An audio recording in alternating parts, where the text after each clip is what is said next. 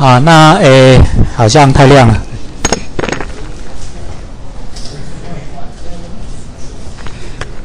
好，那刚刚我们只看到这个范例一哦，但是我们习题却出到那个含微分式了哈，所以我们看一下这个范例，呃，下一个范例哈，ds 分之底 s 平方，呃，根据定义哈，这是根据定义就是 limit delta s 趋近于零啊，delta s 分之 s 加 delta s 平方减 s 平方，那就变成。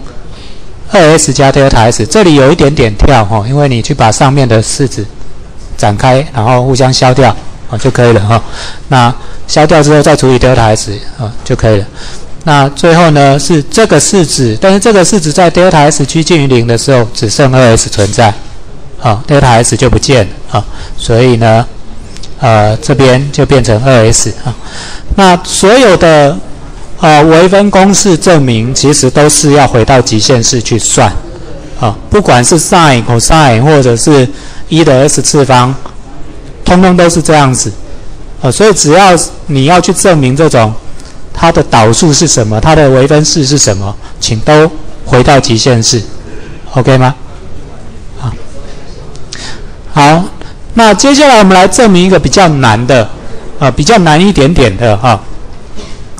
我们要要看 S n 次方的微分式，好，S n 次方的微分式，刚刚各位已经做过 S 平方了嘛，哈，那或者是二二 S 啊，或三 S 平方，哈，各位都已经做了。它 S n 次方的微分式，这是一个通式，对不对？n 不 n n 是个常数，好，那啊，这这时候怎么怎么算呢？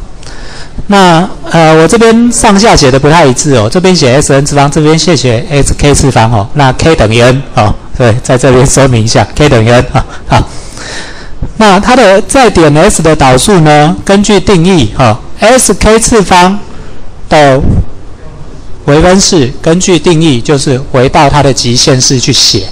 好，回到极限式去写，所以就变成 S 加 delta S 的 k 次方减掉 S k 次方。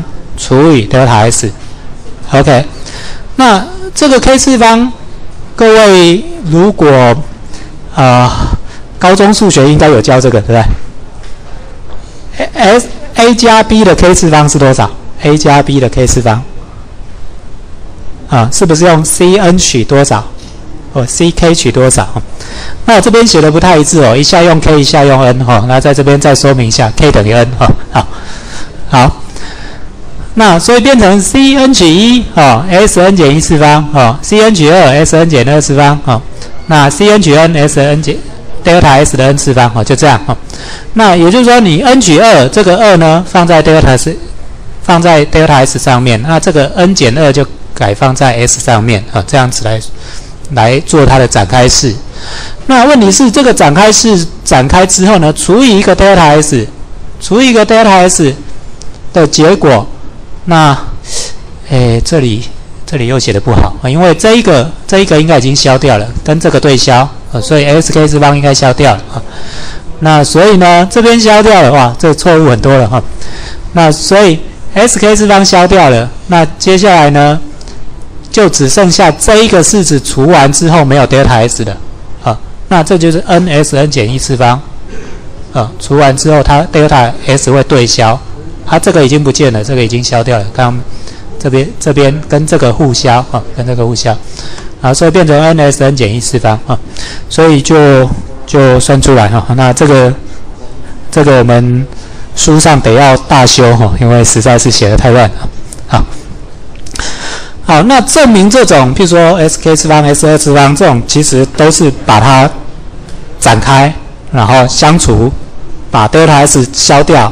还剩下有 delta s 的呢，就趋近于零了啊。那其他的呢部分，你就把那个式子写出来就好。好，那但是有一些有时候我们要证明的东西不是一个固定的式子，譬如说我就是 f(x)，但是我要证明的是 c 乘以 f(x) 的微分公式。像这样，我要怎么证明啊？那我们知道 c 乘以 f(x) 的微分公式就是 c(f(x) prime 哦，就是 c。乘以 f prime s，好，那这个要要什么样子证明呢？啊，CFS prime 哦，就等于 ds 分之 d CFS。根据定义呢，就是回到极限式，好，回到极限式。那这个极限式的 limit delta s 趋近于零，然后 delta s 分之 CFS 加 delta s，对不对？因为根据这个式子嘛，CFS 加 delta s 嘛，再减掉 CFS，OK。那问题是这个 C 两边都有 C，可不可以提出来？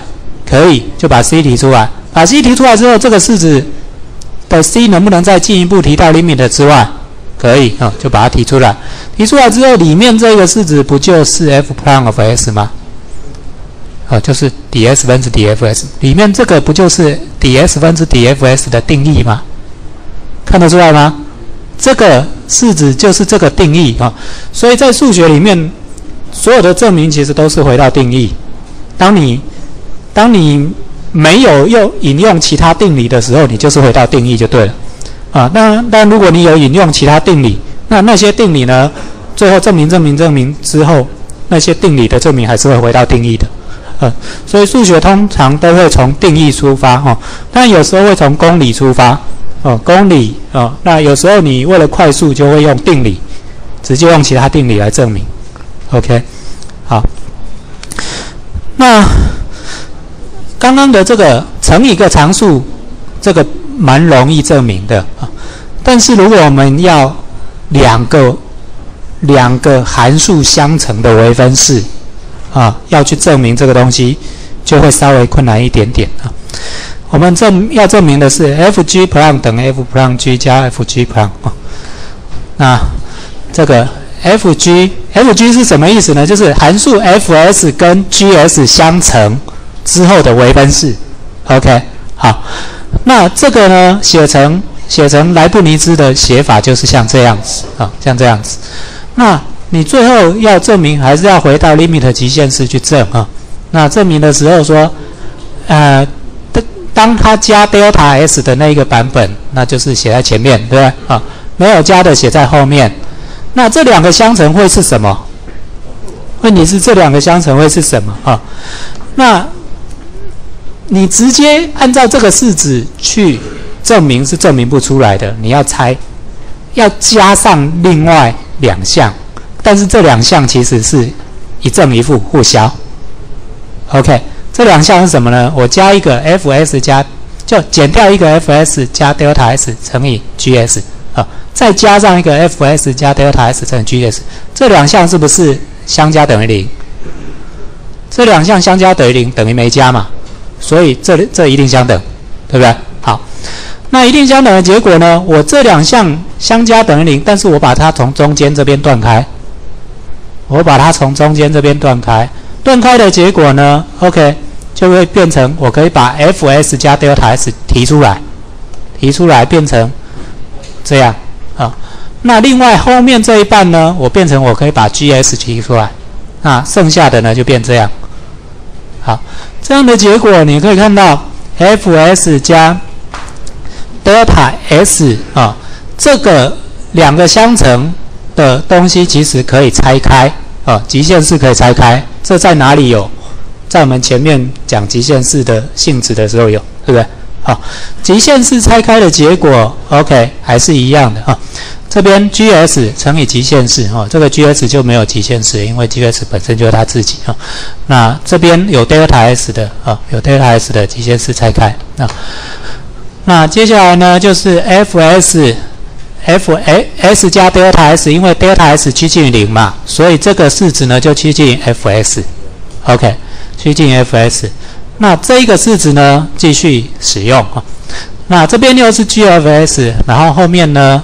又是极限式，好，那各位有没有注意到这个极限式其实就是 g prime of s，这个极限式就是 g prime of s，这个极极限式就是 f prime of s，所以最后就变成 f_s 乘以 ds 分之 dgs，g 乘 s 乘以 ds 分之 dfs，所以就变成 f_s g prime of s 啊，加 g 啊 s f prime of s，OK，所以两个。两个函数的相乘啊，它的极限是它的微分式会是先为第二个，然后再跟先为第一个相加，OK，啊，所以你要记其实也很容易记哦，这并不是因为它很对称嘛，啊，那这种对称的式子通常结果也会很对称啊。好，那另外。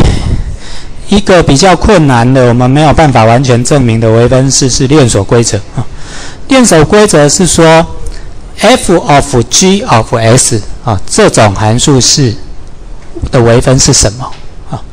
那有一个定理，这个就叫链锁规则，它是变成底 g 分之底 f 乘以底 s 分之底 g。OK，问题是你要去想清楚哦，本来 s 是个自变数，g 是个因变，是一个函数。现在我把 g 拿来当成一个好像自变数一样的东西，可以哦，可以哦，它可以证明哦。但是这样子，我把 g 拿出来当成一个像自变数一样的东西，其实就会有一点漏洞。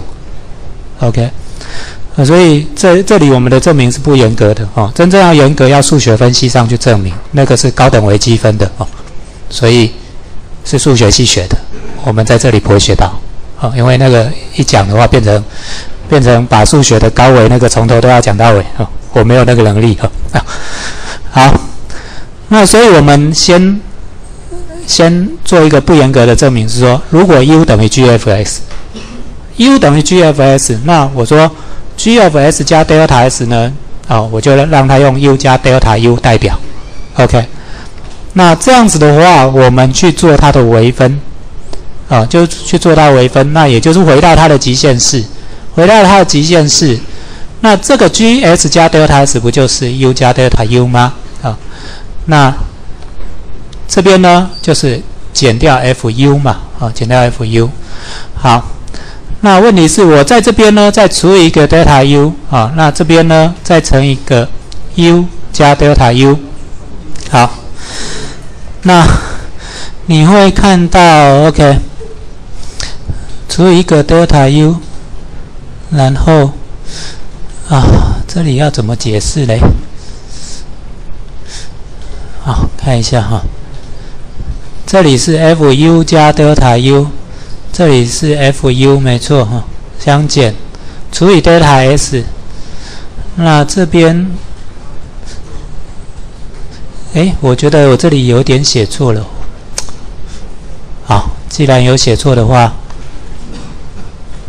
对我真的有写错，他有漏掉一点东西，所以我这这里暂时先先跳掉好了，因为他有有写错哦。好，好，OK，那这个证明呢，维基百科有啊，稍微看一下好了，看一下维基百科的证明。好，我的证明有写错，就改看维基百科的证明啊。链锁规则在维基百科上的证明啊。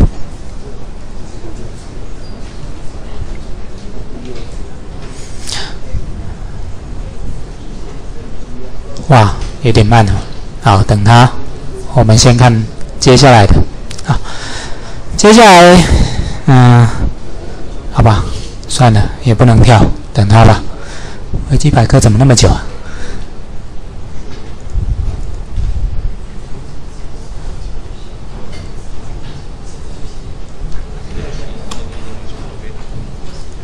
网络有挂掉吗？没有。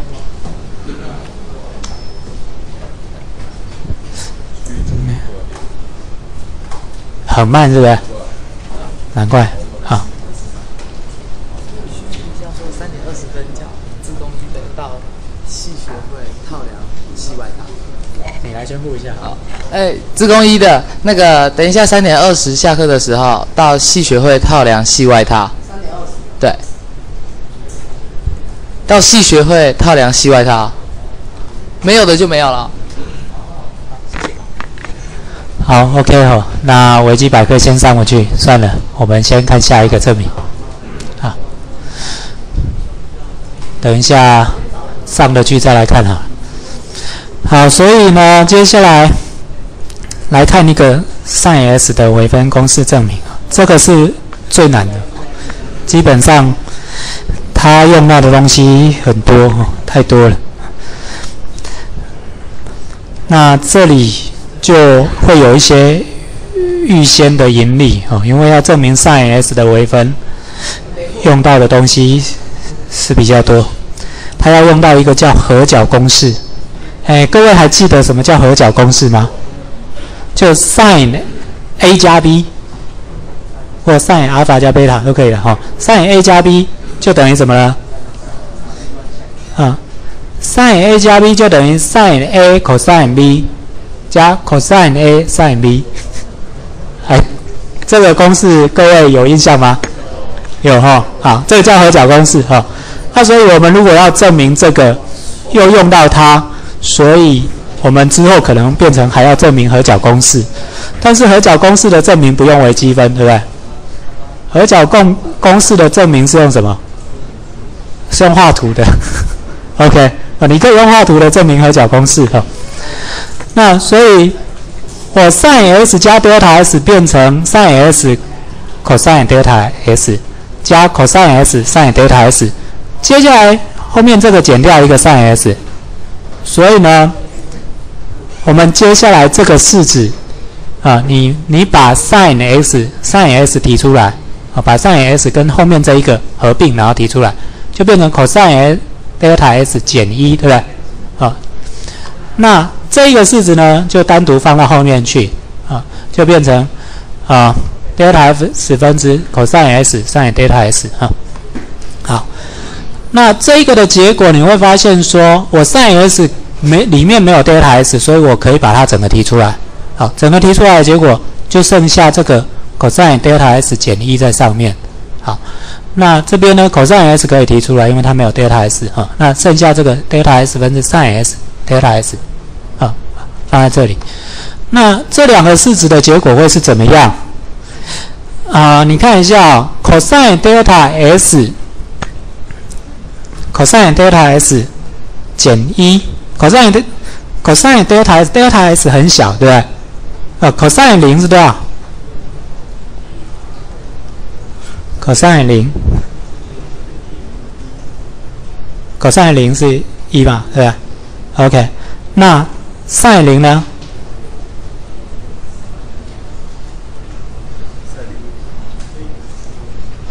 ？sin 是零，那这里就有个问题哦。那 delta s 分之 sin delta s 到底会是多少？是零吗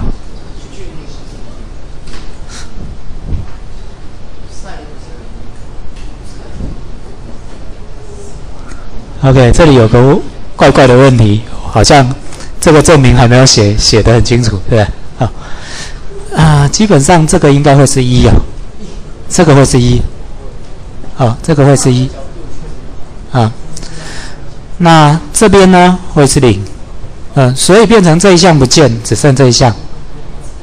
OK，那至于怎么证明？delta s 分之 sin delta s，当 delta s 趋近于零的时候，它会趋近于一嘞，啊，那还有另外这一个会趋近于零呢，啊，OK，嗯，这个部分得再再加一些啊，再加，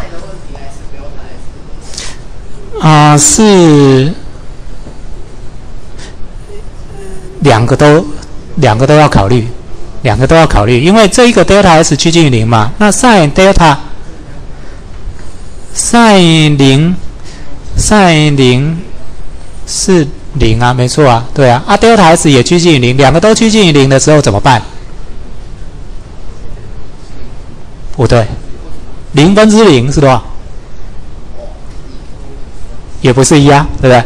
所以当零分之零出现的时候，我们后面有一个有一个啊微分法则，叫做罗必达法则。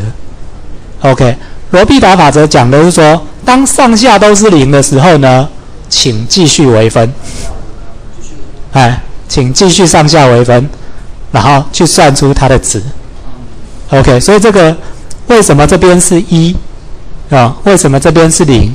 我们可能要用后面的罗必达法则才有办法解答。但是至少你看到这边，就说我现在告诉你，这边的结果会是零零，这边的结果会是一，所以它就变 cos s。但为什么这边的结果会是零，这边的结果会是一？哎，因为罗比达法则啊。那罗比达法则当然也是可以证明的，也是回到极限式证明。好，那我们来看一下。好，那刚刚刚刚看到的是呃 sin 的微分公式证明啊。这里用到了几个我们还没学过的东西。第一个是第一个是合角公式，呃，合角公式这一这一块啊。那第二个是罗必达法则的这一块啊。那我们先看合角公式的这一块啊。合角公式的证明呢，啊，就是合角公式长这样：sin a 加 b，好，变成 sin a cos b 加 cos a sin b 啊。那 cos a 加 b 版本的合角公式呢，变 cos a cos b 啊，减 sin a sin b 那 tangent 的呢就更复杂一点啊，所以大致上 sin 和 cos 会比较好记一点啊，sin 最好记。啊，那我们刚刚只用到 sin 了哈，我们刚刚只用到 sin，所以只要证明 sin 的和角公式就可以了。好，那这里有个图，这个图就是和角公式的证明方法哈。大致上呢，就是各位国中的时候画的那个画的那个三角直角三角形的那种图。OK，这个是 A，这个是 B 啊，这是 A，这个是 B。好，那现在呢？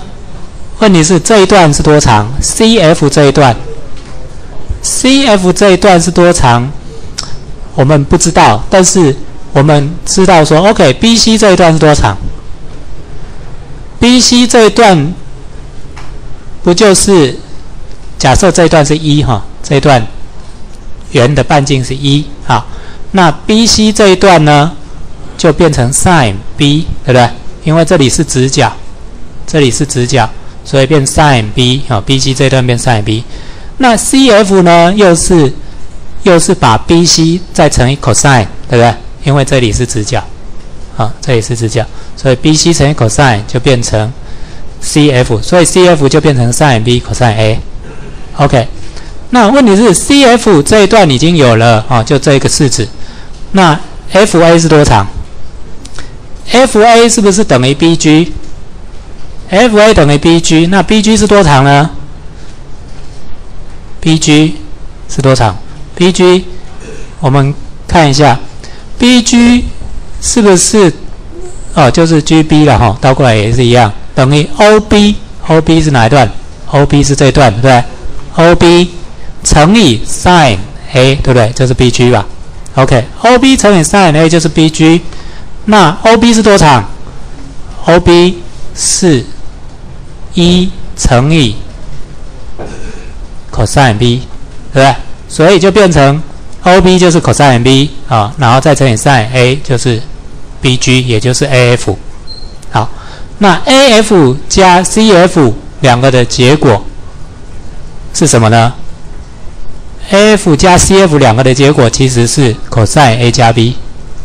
OK，所以 cos a 加 b 就等于 AC 等于 AC，也就是。AF 加 CF 啊，AF 加 CF，也就是 BG 加 FC 啊，就是 BG 加 FC 好，那所以就变成 cos B 乘以 sin A 啊，加 sin B。cos A 好，所以这样子就证明完合角公式，所以我们上面这边用的合角公式啊，就证明完毕。那剩下的就是要用罗必达法则的这个东西，还没证明完。好。好，接下来再看一个证明啊。那我们这些证明呢，啊，有一些有一些会会在某个地方呢没有办法完全证明的，因为那一些地方需要比较高等的证明才有办法啊。好，那这里我们要证明的一个东西是底 s 分之底一的 S 次方，也就是说一的 S 次方的微分是什么？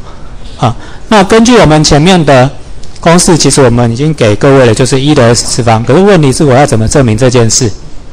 好，那这里有个引理哦，就是我们待会会用到。先告诉各位，h 分之一的 h 次方减一，哦，当 h 趋近于零的时候会是一。那你怎么算？各位怎么算呢？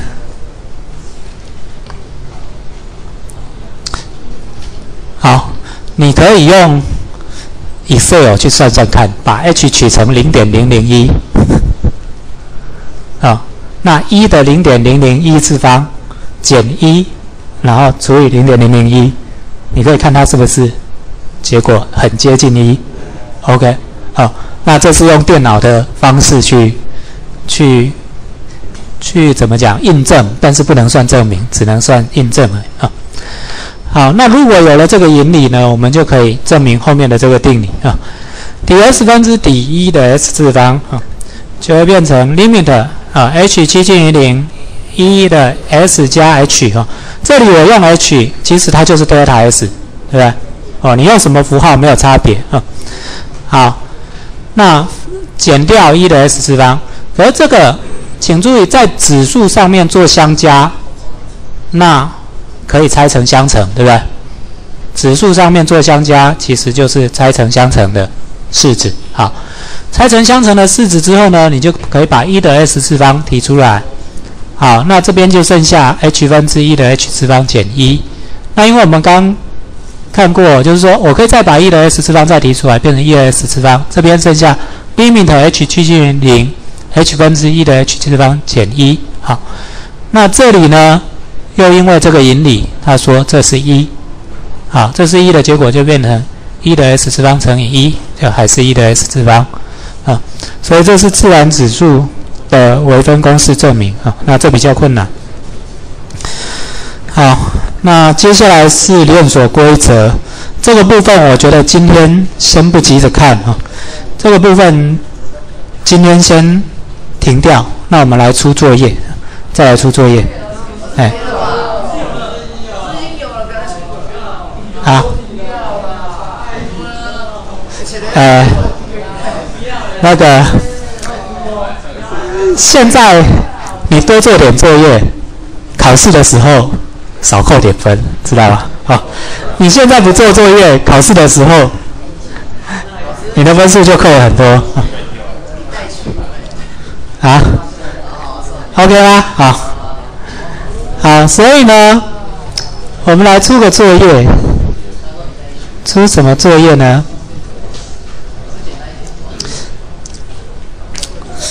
啊，刚刚的那些已经证明完这些了，所以应该 OK，这边不用再出。再出一题作业是这个，啊，来。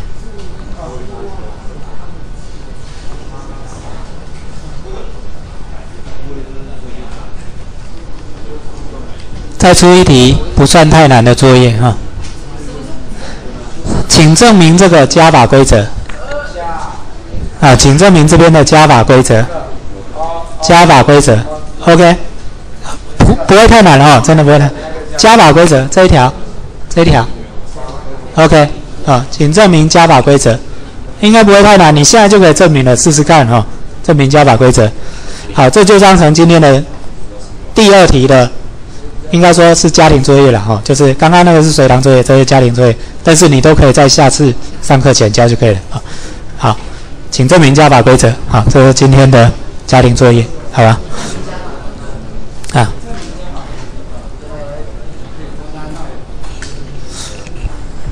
一样回到极限式去看，回到极限式去看。OK，这两个的极限式啊，就是。把它整个写出来，然后把极限式拆开变成两半就完了，对不对？对吧？其实很简单哈，其实很简单。